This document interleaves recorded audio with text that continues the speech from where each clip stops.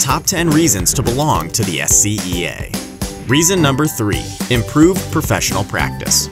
As an educator, you always strive to get better. The SCEA helps you advocate for access to high quality professional development and increased collaboration time so you can improve your practice.